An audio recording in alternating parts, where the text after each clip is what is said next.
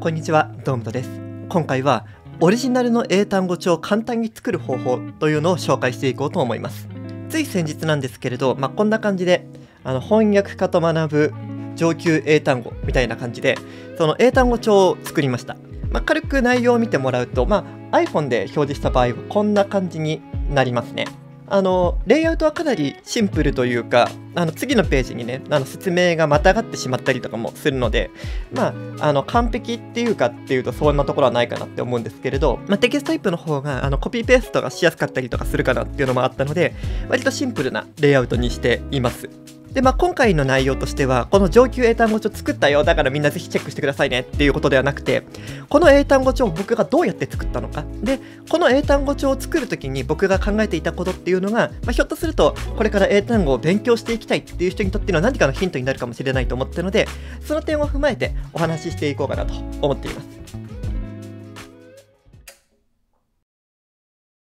で、まあ、これ、あの、どういう風に作ったかというと、チャット GPT を使って作りました。僕、チャット GPT は、あの、4の課金をして、4が使えるような状態にしていて、で、その、チャット GPT4 を使って、この英単語帳を作ったんですよね。で、今回、その、あの、チャット GPT でどうやってこの単語帳を作ったのかっていうことを解説するんですけれど、まあ、なんでそれを解説するかっていうと、まあ、あの自分のあのオリジナルの英単語帳のまとめっていうのを作れるとあの復習が楽になるっていうのがあるからなんですよね。あのこれはこの本のあの序章にも書いたんですけれどあの使える英単語帳というか使える英単語が載っている英単語帳っていうのが欲しいっていうのは僕ら学習者の、ま、悲願だと思うんですけれど結局のところどういう英単語を使うのかっていうのはその人が置かれている状況とかあのシチュエーションとか仕事環境とかに結構影響してしまうんですよね。なので自分にぴったりの英単語帳っていうのが欲しいとしたらそれは自分で作るしかないっていうのが、ま、究極的なところです。じゃあそういった英単語帳をどういう風に作ればいいのかってことなんですけれどそれが今回チャット GPT っていう技術の登場によってかなり簡単になったので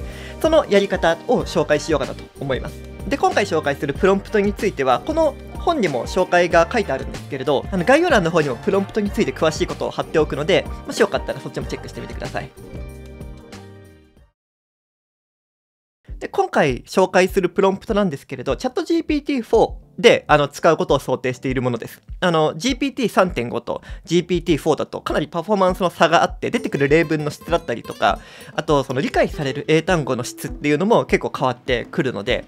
なのでまあ4を使っているんですけれど4はあの2023年4月の現時点では有料なのであの全員が使えるわけではないかなと思います。あのそういうサブスクは避けてるんだとか、まあ、そこまでしてあの最新のパフォーマンスは期待してないなとかっていう人もいると思うので。なので一旦あの GPT-4 を使ってあの出力するための方法っていうのを紹介するんですけれどこのプロンプトをあの調整することであの無料版の3.5でもそれなりの結果が出るようにできるのでそちらも合わせて紹介します。で今回僕が最初に入れたプロンプトっていうのが、まあ、こういうものなんですけれどこれからあの英語のあのワードとかイディオムを与えるからそれに対して以下のあのインストラクションにあの沿って出力をしてくださいみたいな風になっています。これ今5つ単語を入れたんですけれど、これ全部さっきのフォーマットに沿って出力をしてくれています。で、僕はこれをあの1個ずつ確認して、で、たまになんかこう変な例文になっていたりとか、意味の部分が適切でなかったりとかするので、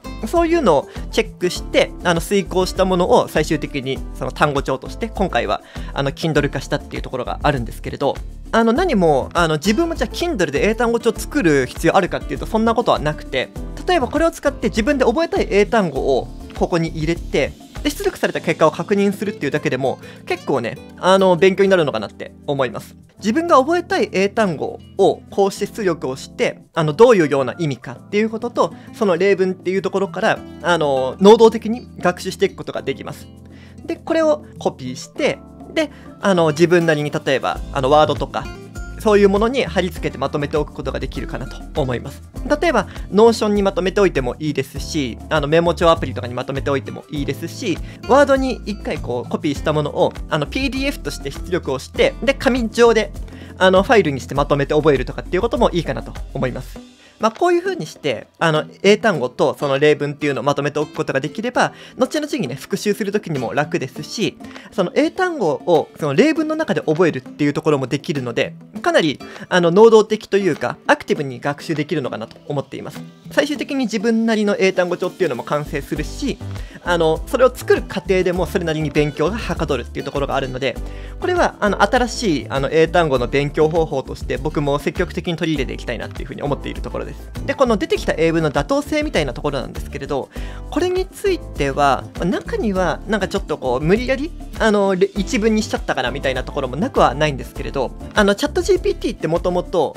それらしい英文っていうのを学習から出力するのが得意なのでなんか出てきた英文っていうのはそれなりにあのコロケーションを意識していたりとかそれなりにどういうような文脈で使われるかっていうことが、まあ、なんとなく意識されている感があって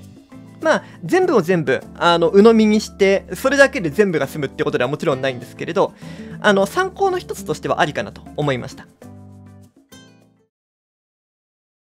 というわけで今回はオリジナルの自分だけの英単語帳っていうのをチャット GPT を使って簡単に作る方法っていうのを紹介しました。基本的にはあのプロンプトをコピペしてあの自分の英単語を入れてっていう風にやってもらえれば OK です。で、まあ、今回この翻訳方学ぶ長級英単語帳っていうのもそういう風にして作ってあの自分なりに多少あの構成を入れたりとかどういうような英単語帳を収録するかっていうことを判断したっていうようなところでこの英単語帳を作っているんですけれど、まあ、これはつまり僕自身の英単語の勉強の、まあ、遍歴のまとめの英単語帳みたいなところがあります。で翻訳家としてあの出会った英単語なのであの確実にどこかの文脈で僕が出会ったことのある英単語ってことになるので少なくとも一度ネイティブの文脈であの使われたことがある英単語だけが収録されています。で、レベル感も英検1級以上のレベルが高い英単語っていうのが並んでいるので、もしよ、あの、上級英単語、本当にこう、英検1級以上とか、国連英検、まあ、A 級、特 A 級とか目指していきたいなっていう人で、なんかこう、自分が知らない英単語っていうのに出会いたいっていうことを期待する人であれば、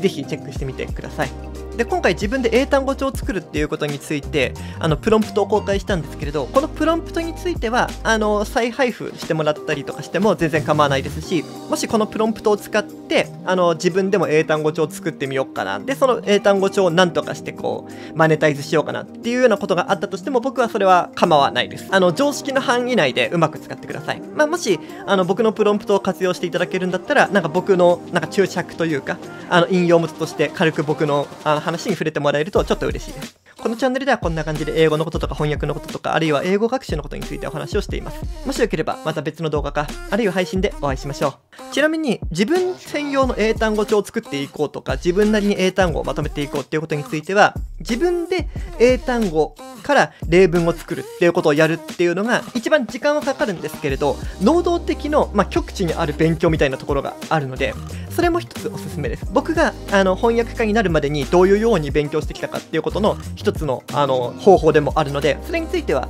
別の動画があるのでもしよかったらそっちをチェックしてみてください。これで1回 GPT でお手本となる英文とか英単語のまとめ方っていうのをしてもらってそれを参考に自分でも例文を作ってみるっていうことをやってもいいですしね。本日の動画は以上となります。長い間ご視聴ありがとうございました。それでは皆さんご自愛ください。